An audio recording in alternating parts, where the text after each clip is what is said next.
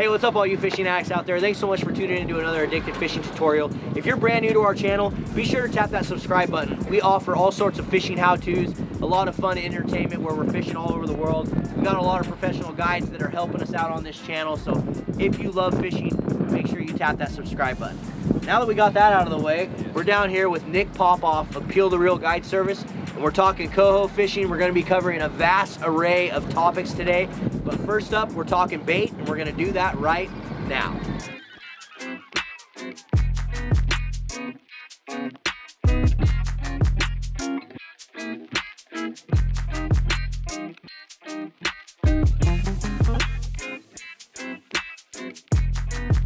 All right, addicts. So if you guys haven't met Nick or you guys don't know who Nick is, oh, we got a fish. Oh no! Wow. Well, we just got bit by one of Nick's herring. If you guys aren't familiar with Nick, this is Nick, Peel the Reel Guide Service, one of our addicted guides. Nick, talk about uh, your guide service a little bit. Yeah, so I, I run Peel the Reel Guide Service. I operate year round. I do mostly the Oregon coast, Astoria, Buoy 10, the Willamette. I kind of do everything. Winter steelhead.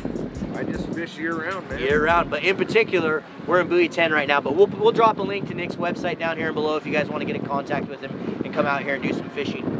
But we're going to talk about bait today in particular, and that was a herring that just got crushed. So talk about just what are like the, say, the main four that people would use kind of down in the, these bigger estuary fisheries or even just in bigger open water style fisheries? Yeah, so typically in the, you know, let's date back a few years, you know, would, there'd be two things you'd use, anchovies, well, I guess three, anchovies, herring, and spinners.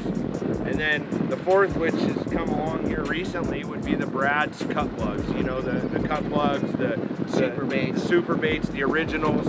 Um, I mean, they, they've come out with a, and those are a plastic bait. So those are the four main baits. Um, you know, I, I'm a bait fisherman myself, so yeah. I do a lot of anchovy and herring is what I focus on. But out here, really, it's this time of the year, man. They'll bite pretty much pretty anything much anything. if it's fished properly. So, talk a little bit. Let's just start with herring. Talk, just kind of talk a little bit about herring, guys. We're talking in coho particular kind of is yeah. where we're focusing this because we do have it's like what September it's almost September 1st so you're gonna have a pretty good coho fishery if you decide to come down to Astoria and fish for these salmon right now so yeah. talk about herring a little bit in particular especially with coho which herring is what we're fishing right now yeah yeah so I I like to run herring there's two different ways you can run them you can use cut cut plug herring with which we use a little jig for, or you can freehand them. I like to cut mine on these. There's two different ways. You know, you can freehand them and just use this beveled edge here, which will eventually look like this. So basically, just puts that angle on the bait, which eventually makes the bait spin and rotate, which I believe we'll have another video coming out on how to rig the baits and things like that, which Exactly. So if you guys, make sure you guys tap that subscribe button because we will have a few videos coming out. We're down here with Nick in the lower estuary fishery filming some videos today. So we have more coming out, not just this one. We're gonna talk about bait, we're gonna talk about rigging bait, we're gonna talk about the entire fishery on how to get down here and catch some of these salmon. Yeah, yeah. So herring, there's two ways to really fish them. You fish them cut plug like I just showed you, or you fish them whole. Um, they're typically fished behind a, a, a short bus flasher, a triangle style flasher. And that's kind of, when we get into the other baits, that's when we'll talk about like a super series flasher. There's two different types. Um, I tend to focus on the triangle flashers because they keep your bait in line. So I'm trying to keep everything as straight as possible. And and when you're fishing a herring, that's, you know, the triangle flasher is just, much more effective to me. We get a lot of tide down here, so your tide is affecting a huge portion. You know, when that tide's ripping against a, a big thumping blade, it, your herring doesn't last very long. Yeah, so. it tends to rip off those yeah, hooks. Yep, absolutely. Rip off those hooks. So in your experience, have you found that a cut plug works better than a whole or is there scenarios where where you think that is the yeah, case? Yeah, so I always depend I always I, I judge it off of the size of bait we get. So we get fresh bait down here. I don't fish trade bait down here. I actually fish fresh bait that's shipped down from the Puget Sound area. So it all depends on the size. If they're big baits, I typically plug cut them. If they're small baits, I'll fish them whole because you, you plug cut them, they got real thin bellies and they tend to tear out on yeah, you. Yeah. So, um, but two years ago, it was whole herring. It didn't matter if they were big, small, for whatever reason the fish keyed in on a whole herring. This year, it seems to have been a plug cut year. You know, I've never had to stray away from it. I, you know, I run anchovies every once in a while, but I'm, I'm running, you know, 99% of the time I'm running herring down here. Okay, so talk about anchovies. So when you run it, you're not cut plugging an anchovy, obviously. Nope, nope. So anchovies, although you can on the bigger ones if they're fresh, and actually we were doing it yesterday because we jigged up some of our own bait yesterday, and I was plug cutting the anchovies, which is kind of crazy, and it, and it was working really, really well.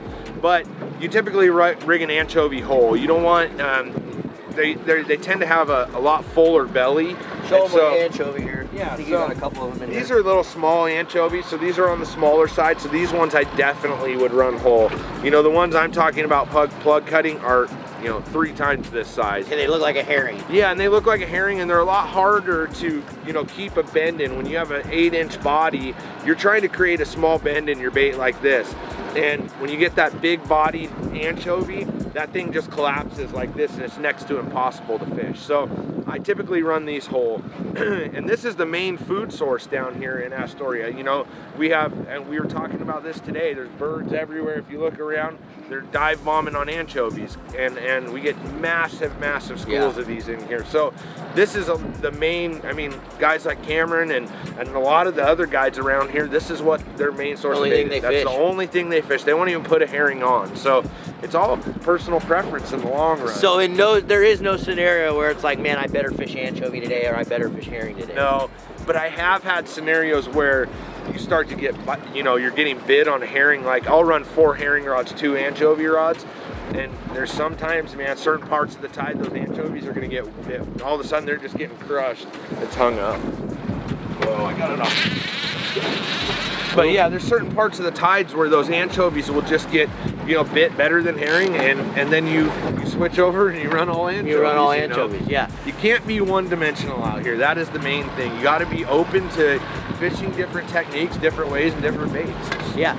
And we are down in Astoria, so we're kind of talking Astoria specifically. But guys, this these baits and all these things that we're talking about will work anywhere where you fish for coho or Chinook salmon these these techniques and these baits are gonna work for you. So keep that in mind if you're in other areas of the country where you're out here targeting Chinook or coho yeah. salmon. Yep. So now at what point do you go to spinners? So, you know, I used to do it a lot. I used to be water temperature, you know, the warmer the water, I'd run more spinners. But honestly, I haven't this year. It's been, the water temperature's been great. We've had good bites all along on bait. Usually the bait will start to kind of phase out. Yeah. And, and a lot of guys will switch from bait to, to spinners and things like that for coho because they don't want to spend the money on the bait every yeah. day, you know, so it's a little more cost effective.